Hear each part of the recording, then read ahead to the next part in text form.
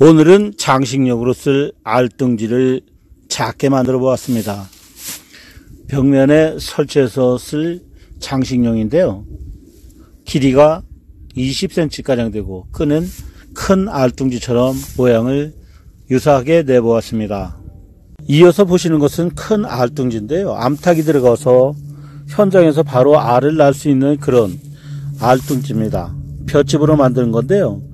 끈을 4개 만들어서 매달 수 있는 규격으로 제작이 된 것입니다. 이것은 보편적으로 쓰는 알뚱지인데요. 암탉이 들어가서 알을 낳을 수 있는 큰 알뚱지입니다.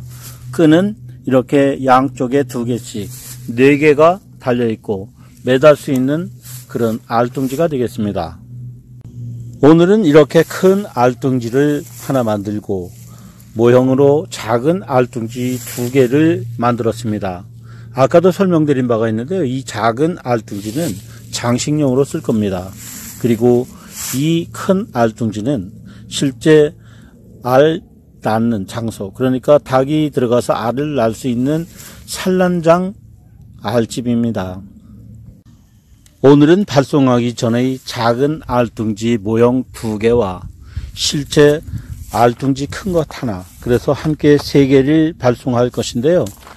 발송하기 전의 이미지를 영상으로 기록해 보았습니다. 여기는 강원도 홍천의 닭 알뚱지를 만든 곳, 이 신선 농장입니다. 감사합니다.